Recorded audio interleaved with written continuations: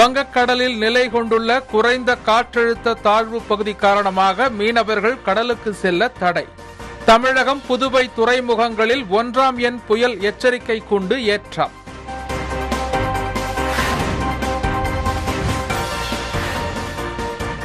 தென்மேற்கு பருவக்காற்று மற்றும் வெப்பச்சலனம் காரணமாக நீலகிரி கோவை உள்ளிட்ட மாவட்டங்களில் அடுத்த மூன்று நாட்களுக்கு கனமழைக்கு வாய்ப்பு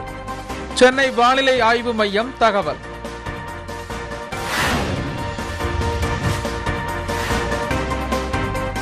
தருமபுரி மாவட்டத்தில் வரத்து அதிகரித்துள்ளதால் தக்காளி விலை சரிவு கிலோ பத்து ரூபாய்க்கு விற்பனையாவதால் விவசாயிகள் கவலை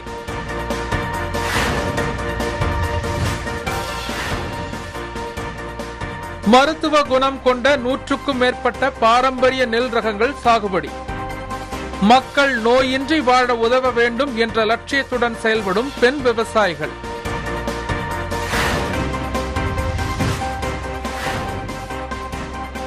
மஞ்சள் விலை பாதியாக குறைந்து வருவதாக விவசாயிகள் வேதனை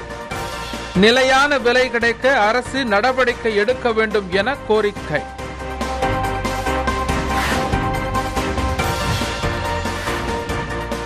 நூறு சதவிகிதம் கொரோனா தடுப்பூசி செலுத்திக் கொண்ட கொடைக்கானல் ஆதிவாசி கிராம மக்கள்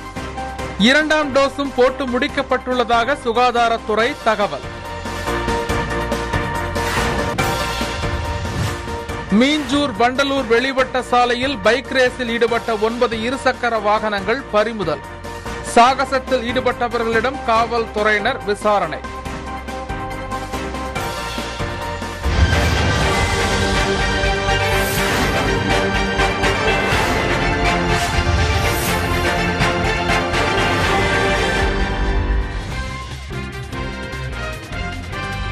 இந்தியாவில் நேற்று ஒரே நாளில் இருபத்தி ஏழாயிரத்து இருநூற்று ஐம்பத்தி நான்கு பேருக்கு கொரோனா தொற்று உறுதி செய்யப்பட்ட நிலையில் அவர்களில் இருபதாயிரத்திற்கும் மேற்பட்டோர் கேரளாவைச் சேர்ந்தவர்கள் என தெரிவிக்கப்பட்டுள்ளது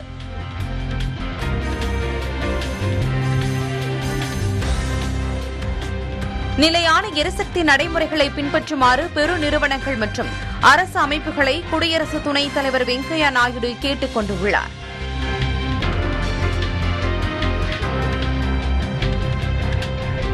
குஜராத் மாநிலத்தின் புதிய முதலமைச்சராக தேர்வு செய்யப்பட்டுள்ள பூபேந்திர பட்டேல் இன்று பதவியேற்க உள்ளார்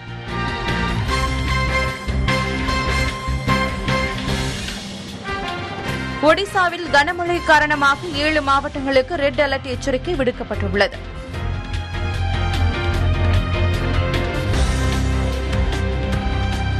டெல்லி மற்றும் அதனை சுற்றியுள்ள பகுதிகளில் மழை தொடரும் என வானிலை மையம் தெரிவித்துள்ளது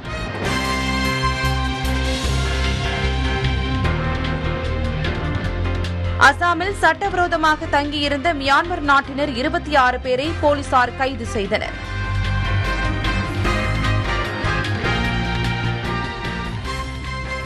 தொலைதூர இலக்கை தாக்கி அழிக்கக்கூடிய ஏவுகணையை வடகொரியா இன்று சோதனை செய்தது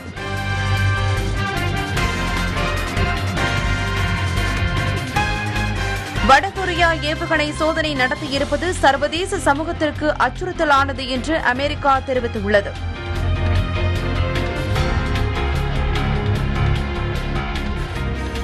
அமெரிக்க ஓபன் டென்னிஸ் போட்டியின் ஆடவர் ஒற்றையர் இறுதி ஆட்டத்தில் ஜோகோவிச்சை வீழ்த்தி டேனில் மெட்வதை சாம்பியன் பட்டம் வென்றுள்ளார்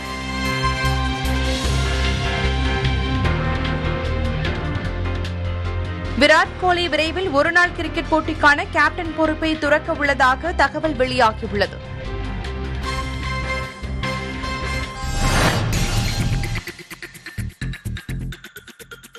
கூட்டுறவு வங்கிகளில் ஐந்து சவரன் நகை வரை அடகு வைத்து பெற்ற கடன்கள் தள்ளுபடி செய்யப்படும் என சட்டசபையில் முதலமைச்சர் ஸ்டாலின் அறிவித்துள்ளாா் பட்ஜெட் கூட்டத்தொடரின் கடைசி நாளான இன்று பல்வேறு அறிவிப்புகள் வெளியிடப்பட்டு வருகின்றன அண்ணா பிறந்தநாளை ஒட்டி எழுநூறு ஆயுள் தண்டனை கைதிகள் விடுதலை செய்யப்படுவர் என்றும் விரைவில் காவல்துறை ஆணையம் அமைக்கப்படும் என்றும் அறிவிப்பு வெளியிடப்பட்டுள்ளது பொதுமக்கள் தங்கள் புகார்களை காவல்துறைக்கு கூற கைபேசி செயலி உருவாக்கப்படும் என்றும் அறிவிக்கப்பட்டுள்ளது காவல் அதிகாரிகளுடன் காணொலி முறையில் பேசும் வசதியும் செயலியில் இடம்பெறும் என்றும் தகவல் வெளியாகியுள்ளது மேலும் சென்னை மெரினா கடற்கரையில் பொதுமக்கள் நீரில் மூழ்கி இறப்பதை தடுக்கும் வகையில் உயிர்காப்பு பிரிவு தொடங்கப்படும் எனவும் உயிர்காப்பு பிரிவில் பனிரண்டு மீனவர்கள் பணியமர்த்தப்படுவார்கள் எனவும் சட்டசபையில் முதலமைச்சர் தெரிவித்துள்ளார்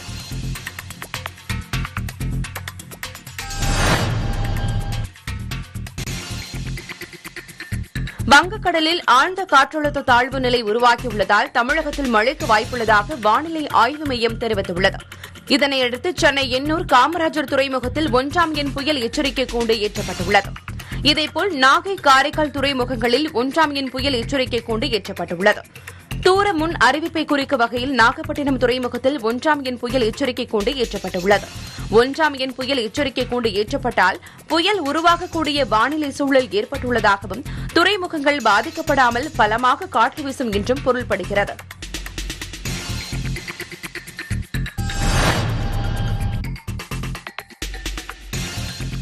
புதுச்சேரி துறைமுகத்தில் குறைந்த காற்றழுத்த தாழ்வு நிலை காரணமாக ஒன்றாம் எண் புயல் எச்சரிக்கை கூண்டு ஏற்றப்பட்டுள்ளது இதேபோல பாம்பன் துறைமுகத்தில் ஒன்றாம் எண் புயல் எச்சரிக்கை கூண்டு ஏற்றப்பட்டுள்ளது மன்னார் வளைகுடா கடல் பகுதியில் காற்றின் வேகம் மணிக்கு ஐம்பத்தைந்து முதல் அறுபத்தைந்து கிலோமீட்டர் வேகத்தில் வீசி வருவதால் ராமேஸ்வரம் மீனவர்கள் மீன்பிடிக்க செல்ல வேண்டாம் என எச்சரித்த மீன்வளத்துறை மீன்பிடி அனுமதி சீட்டுகளையும் ரத்து செய்துள்ளனர் இதனால் மீனவர்கள் தங்களது படகுகளை நங்கூரமிட்டு பாதுகாப்பாக கடலில் நிறுத்தியுள்ளனர் மேலும் கடந்த சனிக்கிழமை ராமேஸ்வரத்திலிருந்து மீன்பிடிக்க சென்ற மீன்பிடி விசைப்படகு ஒன்று நடுக்கடலில் வீசிய பலத்த சூறைக்காற்றில் சிக்கி பலத்த சேதமடைந்தது படகு கடலில் கவிழ்ந்ததை அடுத்து படகை சக மீனவர்கள் மீட்டு இன்று காலை ராமேஸ்வரம் துறைமுகத்துக்கு எடுத்து வந்தனா்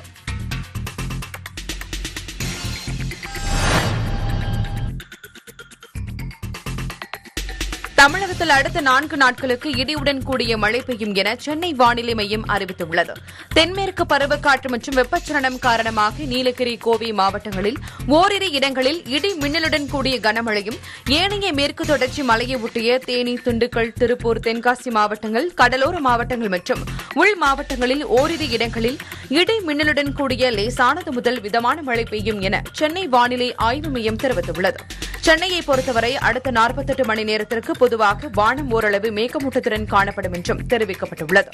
இரண்டு நாட்களுக்கு தென்கிழக்கு வங்கக்கடல் மற்றும் அந்தமான் கடல் பகுதிகளில் பலத்த காற்று வீசக்கூடும் என்பதால் மீனவர்கள் இப்பகுதிகளுக்கு செல்ல வேண்டாம் எனவும் வானிலை மையம் தெரிவித்துள்ளது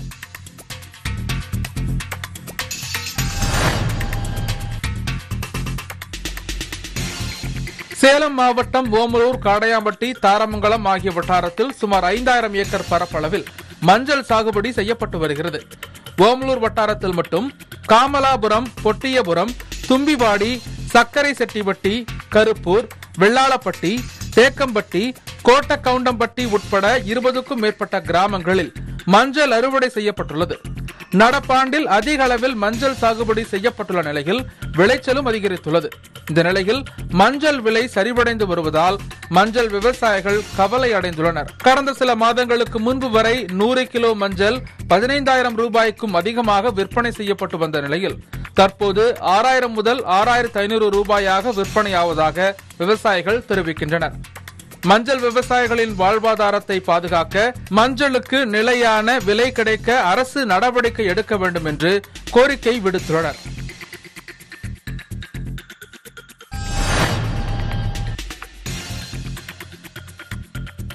தருமபுரி மாவட்டத்தில் வரத்து அதிகரித்து உள்ளதால் தக்காளி விலை சரிந்துள்ளது தருமபுரி மாவட்டம் அதன் சுற்றுவட்டார பகுதிகளில் சுமார் பத்தாயிரம் ஏக்கர் பரப்பளவில் விவசாயிகள் தக்காளி சாகுபடியில் ஈடுபட்டுள்ளனர்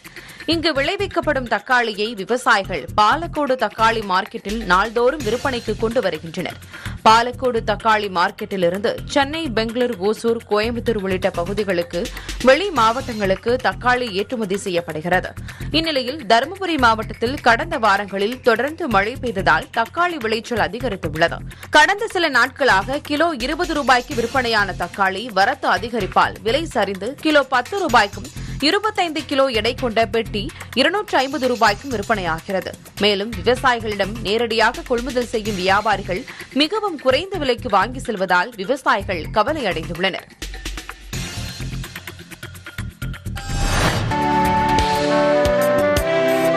வேதாரண்யம் அருகே மணக்காடு கிராமத்தில் பாரம்பரிய நெல் விதைகளை மீட்டெடுத்து மக்கள் நோயின்றி வாழ வழி ஏற்படுத்தி தர வேண்டும் என்ற லட்சியத்துடன் பெண் விவசாயிகள் செயல்பட்டு வருகின்றனா்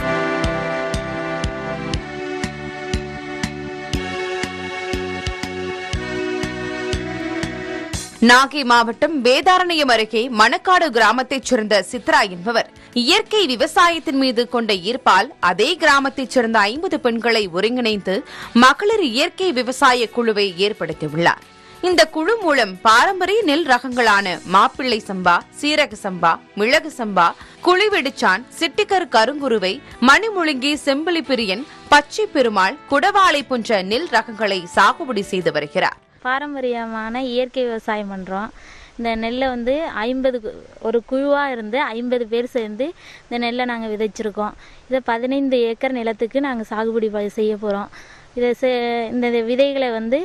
நாங்கள் எல்லா ஊர் மக்களுக்கு எல்லாருக்கும் செய்கிறதுக்கு பயன்பாடாக இருக்கும் குழந்தைகளுக்கு நல்ல ஊட்டச்சத்து உள்ள பொருட்களா இருக்கும் ரசாயன பூச்சிக்கொல்லி மருந்துகளை பயன்படுத்தாமல் முற்றிலும் இயற்கை உரங்களை பயன்படுத்தி சாகுபடி செய்து வருகின்றனர் வரும் ஆண்டுகளில் இன்னும் நூற்றுக்கணக்கான பாரம்பரிய நெல் விதைகளை மீட்டெடுத்து ஆயிரக்கணக்கான பெண்களையும் மற்றும் இளைஞர்களையும் இயற்கை விவசாயத்தின் பக்கம் ஈர்க்கும் முயற்சியில் இந்த இயற்கை விவசாய பெண்கள் செயல்பட்டு வருகின்றனர் விதைச்சு விதை விதைச்சு அதை நடவு நாத்தாக பறித்து நடவு செய்து அதில் உரம் பூச்சி மருந்து எதுவுமே இதெல்லாம் இல்லாமல் அதை நாங்கள் பயன்படுத்தி மாட்டுக்கு வைக்கலாகவும் அதுலேருந்து மாடு அந்த வைக்கல் வைக்கல சாப்பிட்டு அது கொடுக்குற பால் குழந்தைங்களுக்கு நல்ல ஒரு ஒரு ஊட்டச்சத்து உணவாகவும் ப பயன்படுது அதனால் அந்த வைக்கில வந்து எல்லாருமே விரும்பி கேட்குறாங்க இந்த இந்த நெல் வகை இந்த நெல் வகைகளோட விதைகளையும் நிறைய பேர் விரும்பி கேட்குறாங்க நாங்கள் இன்னும் மேலும் மகளிர்கள்லாம் சேர்ந்து இன்னும் நிறையா இயற்கை விவசாயம் பண்ண இருக்கோம் பாரம்பரிய நெல்லை மக்களுக்கு விதையாகவும் அரிசி அவள் கொழுக்கட்டை மாவு இடியப்ப மாவு என மதிப்பு கூட்டப்பட்ட பொருளாக மாற்றி விற்பனை செய்யும் முயற்சியிலும் இந்த பெண் விவசாயிகள் ஈடுபட்டுள்ளனர் நெல்லை வந்து மதிப்பு கூட்டி அரிசி அவள் கொழுக்கட்டை மாவு இடியப்ப மாவு இது மாதிரி நிறையா நாங்கள் உணவுப் பொருளை வந்து மதிப்பு கூட்டி விற்பனை பண்ணுறதுனால எங்களுக்கு நிறையா இதில் ஒரு பலன் கிடைக்குது எங்களோட பெண்களுக்கெல்லாம் இது ஒரு மிகப்பெரிய ஒரு வேலை வாய்ப்பாகவும் இருக்குது குழந்தைகளுக்கு இது ஒரு ஊட்டச்சத்து மாவாக இருக்குது தெம்பான ஒரு உணவாகவும் இருக்குது இது அதிக அளவுக்கு உற்பத்தி பண்ணணும் அப்படிங்கிறதுனால நிறைய பெண்களை உருவாக்கிக்கிட்டு இருக்கோம் அழிந்து வரும் பாரம்பரிய நெல் ரகங்களை மீட்டெடுத்து எதிர்கால தலைமுறையினர் நோயின்றி வாழ வழி ஏற்படுத்தி தர வேண்டும் என்ற லட்சியத்துடன் தங்களையும் பொருளாதாரத்தையும் முன்னேற்றி வரும் இந்த பெண் விவசாயிகள் பாரதி கண்ட புதுமை பெண்கள் என்றால் அது மிக இல்லை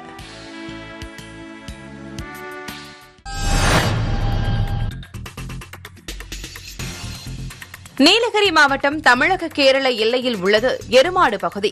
எருமாடு பஜாரை ஒட்டி யூக்கலிப்டஸ் மரங்கள் உள்ளன இந்த மரங்களில் எப்போதும் ஆயிரக்கணக்கான வவ்வால்கள் இருப்பதை காண முடியும் இந்த வவ்வால்கள் அப்பகுதியை பல வருடங்களாக வாழிடமாக கொண்டுள்ளன இந்நிலையில் கேரளாவில் வவ்வால்கள் மூலம் நிஃபா வைரஸ் பரவியது கண்டறியப்பட்ட நிலையில் வவ்வால்கள் கடித்த பழங்களை உட்கொள்ள வேண்டாம் எனவும் அறிவுறுத்தப்பட்டுள்ளது இந்த நிலையில் எருமாடு பகுதியில் உள்ள ஆயிரக்கணக்கான வவ்வால்கள் இரவு நேரங்களில் உணவு தேடி ஊரின் நாட்டின் பல்வேறு பகுதிகளுக்கு சென்று மாலை மீண்டும் அதே பகுதிக்கு திரும்புவதை வழக்கமாக கொண்டுள்ளன இதனால் எருமாடு சுற்றுவட்டார பகுதி மக்கள் நிஃபா வைரஸ் பரவல் ஏற்படுமோ என்ற அச்சத்தில் உள்ளனா்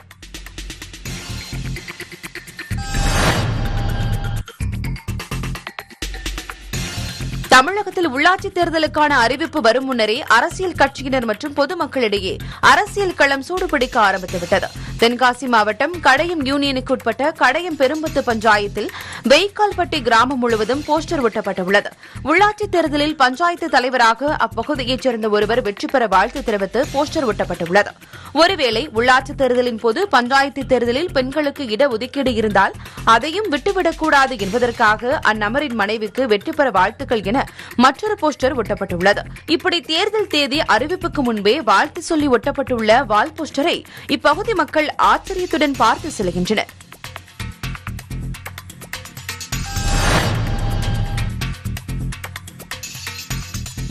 சென்னை அருகே மீஞ்சூர் வண்டலூர் வெளிவட்ட சாலையில் விடுமுறை நாட்களில் இளைஞர்கள் சிலர் பைக் ரேஸில் ஈடுபட்டு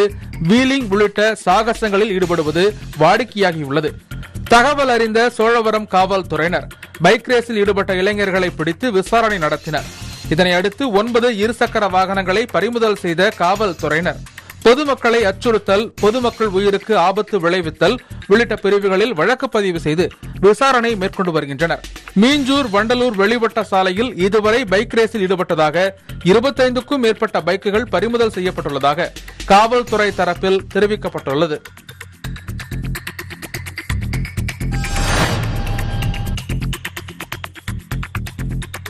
திண்டுக்கல் மாவட்டம் கொடைக்கானல் மலைப்பகுதிகளில் மொத்தமுள்ள எழுபத்தி இரண்டு ஆதிவாசி கிராமங்களில் கொரோனா தடுப்பூசி போட தகுதியாக இருந்த மூன்றாயிரத்து முன்னூற்று அறுபத்தைந்து நபர்கள் கண்டறியப்பட்டு அவர்களுக்கு இரண்டு தவணை கொரோனா தடுப்பூசி செலுத்தப்பட்டுள்ளதாக சுகாதாரத்துறை தெரிவித்துள்ளது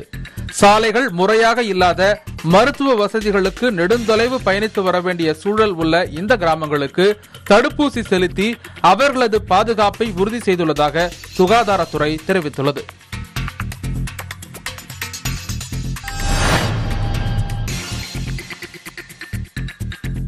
கன்னியாகுமரி மாவட்டம் சேரமங்கலத்தை அடுத்த குன்னங்காடு கிராமத்தில் குறிப்பிட்ட சமூகத்தைச் சேர்ந்த சில குடும்பத்தினர் நெசவு தொழில் செய்து வந்துள்ளனர் இந்த நிலையில் வறுமை காரணமாக நெசவு தொழிலை விட்டு மயானம் தூண்டுதல் முடித்திருத்தும் தொழிலுக்கு இருபது வருடங்களுக்கு முன் மாறியுள்ளனர் இந்த நிலையில் அந்த குடும்பங்களை மற்ற நெசவாளர் குடும்பத்தினர் ஊரை விட்டு ஒதுக்கியுள்ளனர் இதற்கிடையில் அந்த குடும்பத்தினரை குன்னங்காடு காமராஜர் நகரைச் சேர்ந்தவர்கள் அடைக்கலம் கொடுத்துள்ளனர் அந்த குடும்பத்தினருக்கு அடைக்கலம் கொடுத்தவர்களுக்கும் நெசவாளர்கள் வழிபாதை கொடுக்காமல் இருந்து வந்துள்ளனர் இதனால் நோயாளிகள் கர்ப்பிணி பெண்களை காமராஜர் நகர் பகுதியைச் சேர்ந்த பொதுமக்கள் தோளிலேயே சுமந்து சென்ற நிலையில் திருமணம் உள்ளிட்ட நிகழ்வுகளுக்கும் அனைத்து பொருட்களையும் தலைச்சுமையாக எடுத்து செல்கின்றனர்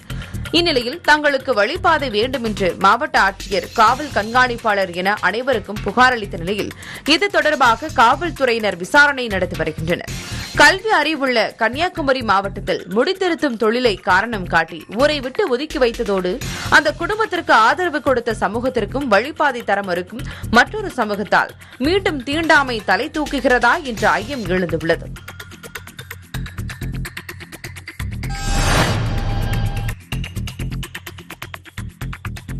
தேனி மாவட்டம் பெரியகுளம் அருகே உள்ள கும்பக்கரை அருவியில் கொரோனா நோய் தொற்று காரணமாக கடந்த ஏப்ரல் மாதம் முதலே சுற்றுலா பயணிகள் குளிக்கவும் அருவிக்கு செல்லவும் வனத்துறையினர் தடை விதித்தனர் இந்நிலையில் நோய் தொற்று குறைந்து தமிழக அரசு பல்வேறு தளர்வுகளை அறிவித்த நிலையில் வனத்துறை கட்டுப்பாட்டில் உள்ள கும்பக்கரை அருவியில் சுற்றுலா பயணிகள் குளிக்க அனுமதிக்கப்படுவர் என வனச்சரக அதிகாரி அறிவிப்பு வெளியிட்டாா் இந்நிலையில் தமிழக அரசு அறிவித்த சுற்றறிக்கையின் அடிப்படையில் கொரோனா நோய் தொற்று மீண்டும் சற்று அதிகரித்து வருவதால் அருவியில் சுற்றுலா பயணிகள் குளிக்க தடை நீட்டிப்பதாக தேவதானப்பட்டி வனச்சரக அதிகாரி அறிவிப்பு வெளியிட்டுள்ளார் இதனால் கும்பக்கரை அருவிக்கு வரும் சுற்றுலா பயணிகள் ஏமாற்றத்துடன் திரும்பி செல்கின்றனர்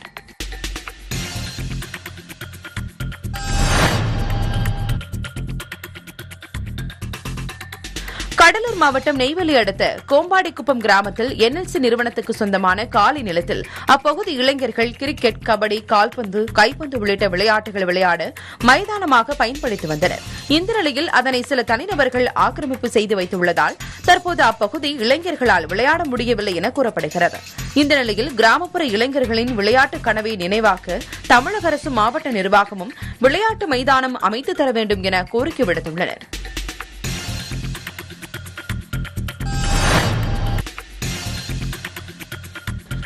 சென்னை மெட்ரோ ரயில் இரண்டாம் கட்ட பணி காரணமாக நாளை முதல் ஓராண்டிற்கு கோடம்பாக்கம் பகுதியில் போக்குவரத்து மாற்றம் செய்யப்பட உள்ளதாக சென்னை போக்குவரத்து காவல்துறை தெரிவித்துள்ளது போரூர் பகுதியிலிருந்து கோடம்பாக்கம் மேம்பாலம் மார்க்கமாக செல்லும் வாகனங்கள் வழக்கம் போல் செல்லலாம் என்றும் கோடம்பாக்கம் மேம்பாலம் பகுதியிலிருந்து போரூர் நோக்கி ஆற்காடு சாலையில் செல்லும் வாகனங்கள் பவர் ஹவுஸ் சந்திப்பு வரை சென்று அம்பேத்கர் சாலையில் இடதுபுறம் திரும்பி அங்கிருந்து அசோக் நகர் காவல் நிலையம் நூறடி சாலை சந்திப்பு ராஜமன்னா சாலை வழியாக ஆற்காடு சாலையை அடையலாம் என தெரிவிக்கப்பட்டுள்ளது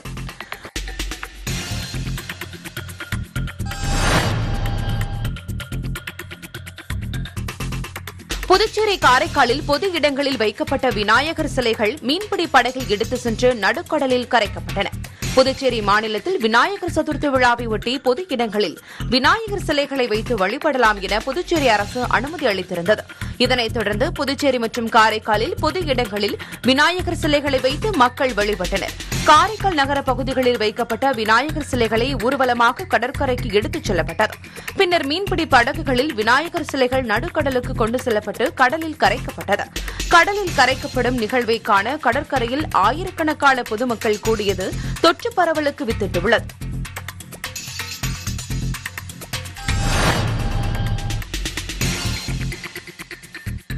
நாமக்கல் மாவட்டம் திருச்செங்கோடு பன்னிர்குத்தி பாளையம் பகுதியில் கிராமப்புற மாணவர்கள் போட்டித் தேர்வுகளுக்கு பயன்பெறும் வகையில் பூவிதழ் கல்வி அறக்கட்டளை சார்பில் இலவச நூலகம் திறக்கப்பட்டது அறக்கட்டளை நிர்வாகிகளும் பொதுமக்களும் பல்வேறு போட்டித் தேர்வுகளுக்கான ஏராளமான நூல்களை இலவசமாக வழங்கி வருகின்றனர் எனவே இந்த நூலகத்தை மாணவர்கள் பயன்படுத்தி தேர்வுகளில் வெற்றி பெற வேண்டும் என்பது அனைவரின் விருப்பமாக உள்ளது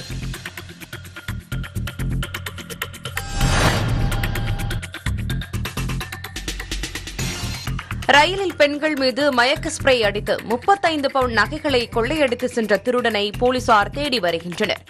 நிசாமுதீன் விரைவு ரயிலில் விஜயலட்சுமி மற்றும் அவரது மகளும் கௌசல்யா என்பவரும் பயணம் செய்துள்ளனர் செங்கனூரில் இறங்க வேண்டிய விஜயலட்சுமி ஆலுவா ரயில் நிலையத்தில் இறங்க வேண்டிய கௌசல்யா மயங்கிய நிலையில் திருவனந்தபுரம் ரயில் நிலையம் வந்தனர் அப்போது தாங்கள் அணிந்திருந்த நகைகள் கொள்ளை போனதை அறிந்து ரயில்வே போலீசாரிடம் புகார் அளித்தனர் விசாரணையில் திருட்டுகளில் ஈடுபடும் நபர்களின் புகைப்படங்களை காட்டியபோது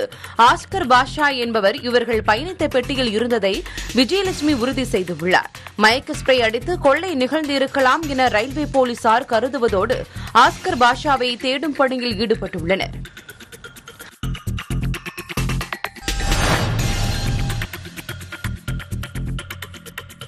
கடலூர் வெள்ளி கடற்கரையில் ஞாயிற்றுக்கிழமைகளில் சுற்றுலா பயணிகளுக்கு அனுமதி மறுக்கப்பட்டுள்ளது அதேபோல் வெள்ளி சனி ஞாயிற்றுக்கிழமைகளில் கோயில்களுக்கும் அனுமதி மறுக்கப்பட்டுள்ளது இதனால் என்ன செய்வது என்று தெரியாமல் உள்ள கடலூர் நகர மக்கள் கடலூர் நகராட்சி பூங்காவில் அதிக அளவில் குவிந்தனா் கடற்கரை பகுதிகள் கோயில்கள் தொடர்ந்து திறக்கப்பட்டு இருந்தால் ஒரே இடத்தில் கூட்டம் கூடாது எனவே அரசு அனைத்தையும் திறக்க வேண்டும் இல்லை என்றார் ஒரே இடத்தில் பொதுமக்கள் அதிக அளவு குவியும் அபாயம் உள்ளதை கருத்தில் கொண்டு அரசு நடவடிக்கை மேற்கொள்ள வேண்டும் என்பது பொதுமக்களின் வேண்டுகோளாக உள்ளது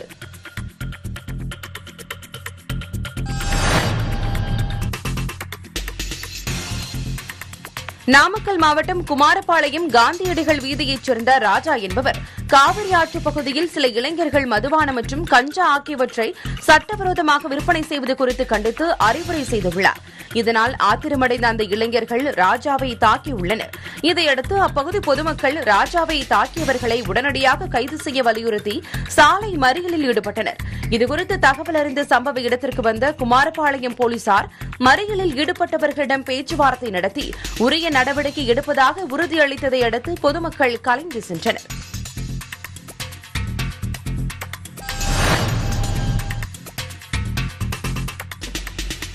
தூத்துக்குடி மாவட்டம் திருச்செந்தூர் ஊராட்சி ஒன்றியத்திற்குட்பட்ட வீரபாண்டியன் பட்டினம் பஞ்சாயத்தில் உள்ள புனித தோமையார் மேல்நிலைப் பள்ளியில் கொரோனா தடுப்பூசி முகாம் நடைபெற்றது இதில் நூற்று தொன்னூற்று ஒரு பேர் கொரோனா தடுப்பூசி போட்டுக் கொண்டனர் முகாமின் இறுதியில் வீரபாண்டியன் பட்டினம் பஞ்சாயத்து சார்பாக குலுக்கல் முறையில் தேர்ந்தெடுக்கப்பட்ட மூன்று நபர்களுக்கு தங்க நாணயம் பரிசாக வழங்கப்பட்டன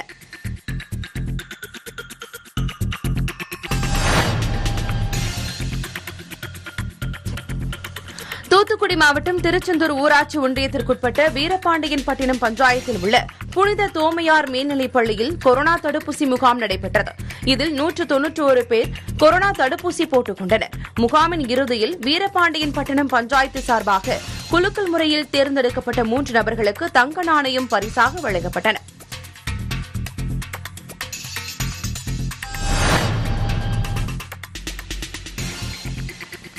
கரூர் மாவட்டம் குளித்தலை அருகே திருச்சி முதல் கரூர் செல்லும் புறவழிச்சாலையில் மணவாசி டோல் பிளாசா உள்ளது இப்பகுதியில் மாயனூர் காவல்துறையினர் பணியில் இருந்தபோது திருச்சி பகுதியில் லோடு ஏற்றிக்கொண்டு கரூர் நோக்கி சென்ற லாரி மணவாசி டோல் பிளாசாவை கடந்து சென்றுள்ளது சிறிது நேரம் சென்ற பிறகு ஓட்டுநரின் செல்போனிற்கு வாகனத்தை நிறுத்தாமல் சென்றதற்காக ஐநூறு ரூபாய் அபராதம் விதிக்கப்பட்டதாக தகவல் சென்றது இத்தகவல் அறிந்த ஓட்டுநர்கள் தங்கள் லாரியை திருப்பி வந்து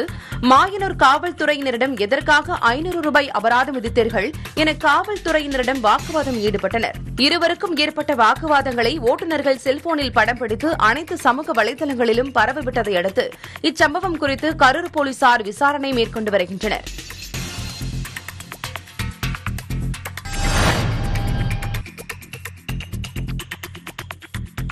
நாமக்கல் மாவட்டம் கொடைக்கானல் நகர் பகுதியை ஒட்டியுள்ள கரடைச்சோலை மற்றும் புலிச்சோலை வனப்பகுதிகளில் பிளாஸ்டிக் கழிவுகள் குப்பைகள் உள்ளிட்டவைகளை அடையாளம் தெரியாத நபர்கள் கொட்டி வருகின்றனர் பிளாஸ்டிக் கழிவுகள் உள்ளிட்டவைகளை கொட்டுவதால் இதை உண்ணும் வன விலங்குகள் பலியாகி வருவது வாடிக்கையாக உள்ளது எனவே நகர்ப்பகுதியில் சாலைகளிலும் வனப்பகுதிக்குள்ளும் குப்பைகளை கொட்டுபவர்கள் மீது கடுமையான நடவடிக்கை எடுக்க வேண்டும் என்று சமூக ஆர்வலர்கள் கோரிக்கை விடுத்தனா்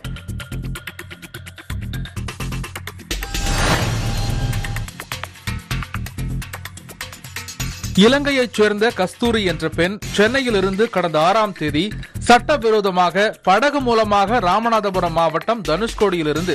இலங்கை செல்ல முற்பட்டார் அந்த வகையில் வாடகை படகில் அழைத்துச் சென்ற மீனவர்கள் அந்த பெண்ணை அரிச்சல் முனை அருகே உள்ள மணல் திட்டில் இறக்கிவிட்டு வந்த நிலையில் சுமார் எட்டு மணி நேரமாக நடுக்கடலில் மத்தியில் தவிக்கும் நிலை ஏற்பட்டது இதையடுத்து மீனவர்கள் கொடுத்த தகவலின் அடிப்படையில் கடலோர காவல் படையினர் அந்த பெண்ணை மீட்டு வந்தனர் தொடர்ந்து அப்பெண் கொடுத்த தகவலின் அடிப்படையில் தனுஷ்கோடி பாலம் பகுதியில் வசிக்கும் முனியதாஸ் சிவிராஜ் ஈஸ்வரன் பானு ஆகிய நான்கு பேரை போலீசார் சிறையில் அடைத்த நிலையில் தற்போது அவர்கள் பயன்படுத்திய படகையும் கடலோர காவல் படையினர் பறிமுதல் செய்தனர்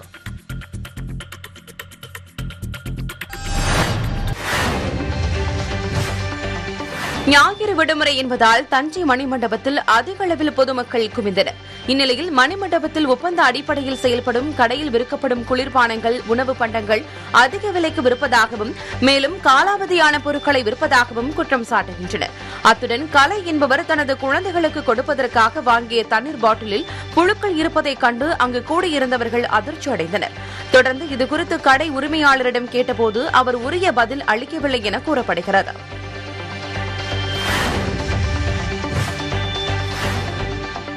கடலூர் மாவட்டத்தில் வெள்ளாற்றில் கடல் வாழ் உயராய்வு மையத்தின் எதிரே ஐம்பத்தெட்டு புள்ளி எண்பது லட்சம் மதிப்பீட்டில் நீர் விளையாட்டு பூங்கா அமைக்கப்பட்டுள்ளது இதில் நீர் விளையாட்டு உபகரணங்கள் கேனாஸ் கயாக்ஸ் துடுப்பு படகு உயிர்காக்கும் படகு உள்ளிட்டவை உள்ளது நீர் விளையாட்டு பூங்காவை தமிழக வேளாண்மைத்துறை அமைச்சர் எம் ஆர் கே பன்னீர்செல்வம் கொடியசைத்து தொடங்கி வைத்தாா்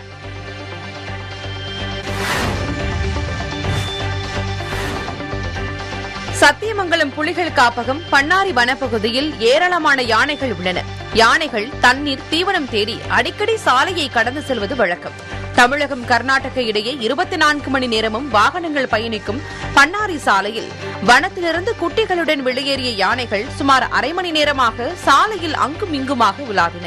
அதில் மூன்று குட்டிகள் இருந்ததால் வாகன ஓட்டிகள் யானைகள் செல்லும் வரை காத்திருந்தனர் பின்னர் யானை கூட்டம் மெதுவாக சாலையை கடந்து சென்றன அதன் பிறகு வாகன ஓட்டிகள் புறப்பட்டனர் யானைகள் அதன் வழித்தடத்தில் பயணிப்பதால் வாகன ஓட்டிகள் முப்பது கிலோமீட்டர் வேகத்தில் வாகனங்களை இயக்க வேண்டும் என்றும் யானைகளை தொந்தரவு செய்தால் கடும் நடவடிக்கை எடுக்கப்படும் என வனத்துறை எச்சரித்துள்ளது குறிப்பிடத்தக்கது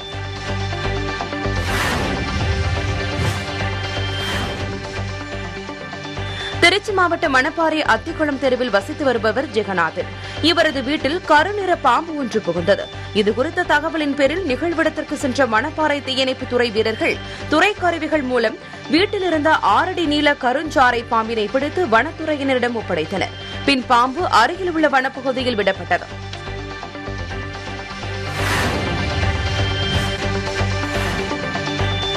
ராமேஸ்வரம் தனுஷ்கோடி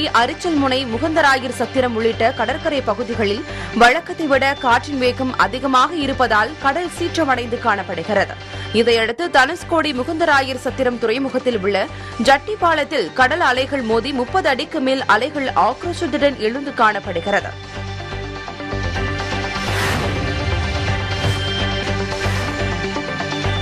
திருச்சி மாவட்டம் மணப்பாறை அடுத்த துவரங்குறிச்சி சந்தைப்பேட்டை தெருவில் வசித்து வருபவர் சிக்கந்தர் பாஷா இவரது வீட்டில் சமையல் செய்து கொண்டிருந்த போது திடீரென சமையல் எரிவாயு உருளை தீப்பிடித்து இருந்துள்ளது இதையடுத்து அனைவரும் வெளியேறிய நிலையில் எரிவாயு உருளை பலத்த சத்தத்துடன் வெடித்ததில் சமையல் அறையில் இருந்த பொருட்கள் மின்சாதன கருவிகள் சேதமடைந்தது இதுகுறித்து சமையல் எரிவாயு முகவர் வருவாய்த்துறையினர் துவரங்குறிச்சி போலீசார் நிகழ்விடத்திற்கு விபத்து குறித்து விசாரணை மேற்கொண்டனர்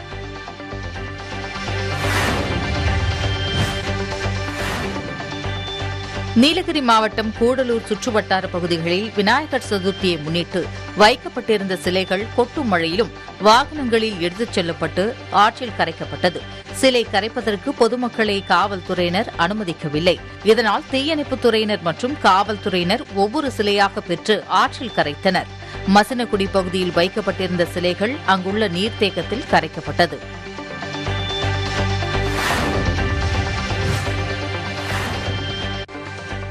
ராமநாதபுரம் மாவட்டம் தனுஷ்கோடி பகுதியில் சூறை காற்றுடன் மணல் புயல் வீசியது இதனால் தனுஷ்கோடியில் உள்ள சாலைகள் மணலால் மூடியது மேலும் அப்பகுதிக்கு சென்ற இருசக்கர வாகனங்கள் மணலில் சறுக்கி விபத்து ஏற்படும் சூழல் ஏற்பட்டது இதற்கு நடவடிக்கை எடுக்க கோரிக்கை விடுக்கப்பட்டுள்ளது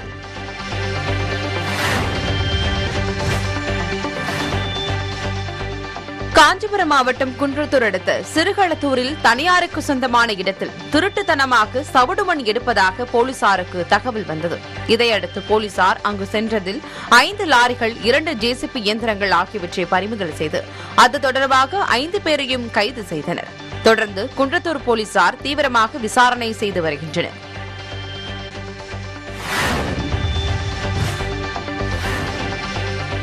மதுரை செல்லூர் அகிம்சாபுரம் பகுதியில் தெருக்களில் நிறுத்தி வைக்கப்பட்ட இருசக்கர வாகனங்களில் இரவு நேரங்களில் பெட்ரோல் திருடி செல்வதை ஒருவர் வழக்கமாக கொண்டுள்ளார் இந்த காட்சி அதே பகுதியில் பொருத்தப்பட்டுள்ள சிசிடிவி கண்காணிப்பு கேமராவில் பதிவாகியுள்ளது இந்த காட்சிகளின் அடிப்படையில் பெட்ரோல் திருட்டில் ஈடுபட்டு வரும் அடையாளம் தெரியாத நபர் குறித்து போலீசார் விசாரணை நடத்தி வருகின்றனர்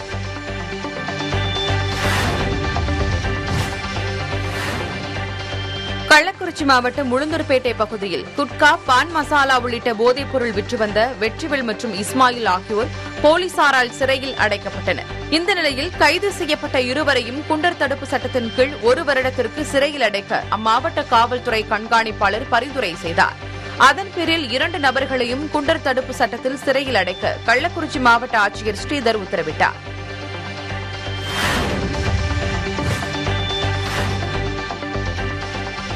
விருத்தாச்சலம் கடலூர் வரை மொத்தம் நூற்று தொன்னூற்றி எட்டு கிலோமீட்டர் தூரத்திற்கு மின்மயமாக்கல் பணிகளுக்காக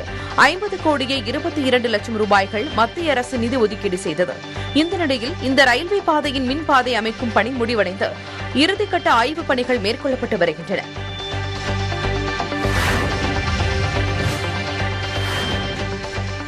திருப்பத்தூர் மாவட்டம் ஜோலார்பேட்டை அடுத்த காவேரிப்பட்டு கிராமத்தில் பால் உற்பத்தியாளர்கள் நூற்றுக்கு மேற்பட்டோர் ஜோலார்பேட்டை நாற்றம்பள்ளி செல்லும் சாலையில் அரசு பேருந்தை சிறைப்பிடித்து சாலை மறியலில் ஈடுபட்டனர் கடந்த ஒரு ஆண்டாக சங்க தலைவராக செயல்பட்டு வரும் கோபு என்பவர் முறைகேடுகளில் ஈடுபட்டதாகவும் கையாடல் செய்ததாகவும் கூறி பால் உற்பத்தியாளர்கள் சாலை மறியலில் ஈடுபட்டனர் காவல்துறையினர் பேச்சுவார்த்தையில் ஈடுபட்டதையடுத்து சாலை மறியலை கைவிட்டு கலைந்து சென்றனா்